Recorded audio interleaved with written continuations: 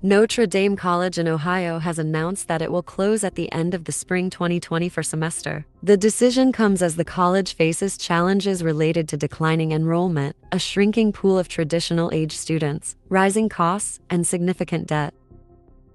From 2014 to 2022, total fall enrollment at Notre Dame declined nearly 37, from 2,281 students to 1 for for 4, according to federal data. Officials from the Roman Catholic College had explored options to remain open, including fundraising, refinancing debt, and accessing federal and state pandemic relief.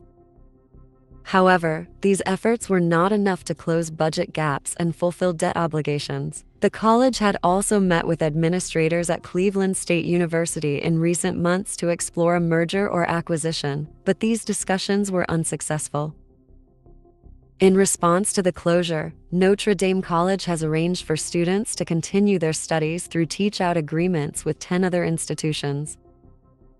These include Baldwin Wallace University, Case Western Reserve University, Cleveland State University, Hiram College, John Carroll University, Kent State University, Lake Erie College, Ursuline College, and Walsh University in Ohio, as well as Mercyhurst University in Pennsylvania.